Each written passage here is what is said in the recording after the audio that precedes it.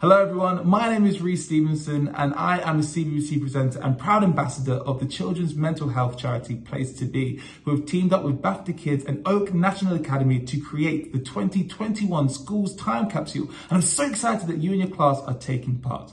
Now, this has been a bit of a strange year for many of us, but especially you, with home learning and many of you not being able to see your friends and family. So this is a chance for you and your classmates to look back and reflect on the past school year and what it's been like for you. One of the ways you can reflect on the past school year is through writing. So before you get started, here are some top tips from some writing experts. Hello, I'm Lemn Sissay, and I'm a writer, and I like to express myself by writing. The past 12 months, I've felt like um, sometimes like a hedgehog, slightly prickly, hibernating beneath a hedge, all rolled up on other times, I felt like a peregrine falcon perched on a cliff, watching the sea crashing below me. So, my top tips for your writing reflections are number one, what animal have you felt like? Describe yourself as an animal in lockdown. Decide which animal, where is it, what's it doing, why is it there? What sound is it making? What is it hearing? What is it thinking? Number two, dear me. I love this one. Write yourself a letter to yourself a year ago and tell yourself what's going to happen with this pandemic and the world and give yourself some advice for how best to get through it. Tip number three I remember. So this is a list. Write the words I remember and then write something that you remember from the last year. Uh, and when you stop, Uh, go to the next line and write I remember again and write something else that you remember from the last year. It doesn't matter how sad or happy it is, it's all about the detail, you see. Keep going and keep going until you fill the whole page and you'll be surprised by how much you can write. I remember skating up and down the pathway to the garden gate. I remember the last time I saw my granddad. You see, and then you go back to the next one. You say, I remember, think of things you remember and write it down. Those are my top three tips for you. Hello, I'm David Walliams, and I do lots of different things. I act, I do comedy, but the thing that gives me the most pleasure is writing children's books. Now, over the last year, it's been an isolating time for lots of us. Lots of us have felt quite alone. The fortunate thing for me is that as a writer, especially of books, being alone is actually a good thing. You want to be left alone with your imagination when you're writing a book. So I've tried to use the time as positively as I possibly can. Um, and, and the reason I really like writing books is it, it's just such a wonderful way to express yourself. So it's something you really care about, something you want to communicate to others. What better way than to write it down? So I've got some top tips for you budding writers out there the first one I'd say is be as original as you possibly can.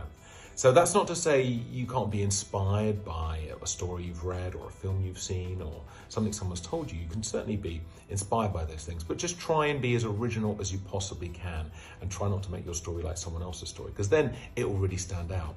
The next thing I'd say, as a writer, you really have to keep your eyes and ears open at all times because you never know when a good idea might come along. So you might be sitting on the bus and you might overhear a conversation and think, wow, that would be a great starting point for a story. So make sure you've always kind of got your writer's hat on and you're always thinking, would that make a good story? Would that make a good character? Would that be a funny line? Um, so ideas are sort of floating around everywhere and, and writers are the ones that can pluck them out of the air. And the last thing I'd say, which is a bit of advice for you, is have a think about the shape of your story before you start writing it. It doesn't mean you have to plan the whole thing out in huge detail, but oh dear, Ernie's not enjoying this. He's finding it a bit boring. But um, have a sense of the shape of the story because sometimes kids say to me, oh, I was writing a, a story and uh, I just didn't know how to finish it. Well, if you've got an idea how to finish it, um, then you'll have the shape there. Doesn't mean, you know, you might have a better idea as you go along. You might think, actually, I can get rid of that ending. I've got a better idea, but uh, I'm going to put them down. But so just have a shape of a story before you start. And I think that'll help you because you'll know where you're heading. So they are my top tips for writing. Good luck, everyone. My name's Amy and I'm an English teacher, which means it's probably not a huge surprise to hear that I think writing is one of the best ways you can express yourself and express your feelings.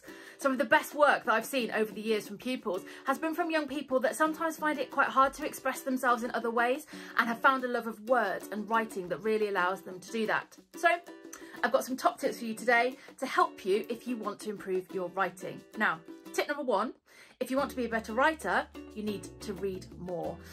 I know the two don't feel like they should come together, but honestly, the more you read, the more you will understand uh, what people like to read. You'll understand how sentences flow together. You'll understand what's enjoyable as a reader so that you can apply that as a writer. So my first top tip is to just read as much and as often as you can. It doesn't always have to be big books, it can be anything. Read reviews, read blogs, read the back of a cereal packet if that's what you're interested in, but read more and your writing will improve. Tip number two is to read whatever you've written out loud. Now, it's no great surprise that the best novels and books in the world get turned into films. It's also not a huge surprise that music and songs sound like poetry. As far as I'm concerned, the written word was meant to be spoken and it was meant to be heard and enjoyed. So whenever you've written something, read it out loud and experience it as a reader. Once you hear it, you'll be able to hear it how other people will when it leaps off the page. So reading it out loud is my second top tip. And my third top tip doesn't really sound like a top tip, but it is to just write. So many people don't write because they think, I haven't got the perfect idea or I'm not 100% sure where, where I'm going with this. I don't think that matters. It's really important to plan your writing, but actually to be a writer, you just need to start. So there are my top tips. Hope they were helpful. Um, get writing and enjoy. What great tips! Thank you to Lemn, David and Amy. Well, now it's your turn. Take your time, help each other out. And remember, this isn't about being the best at writing. It's about giving you the chance to express your thoughts and feelings. We can't wait to see what you create. Bye.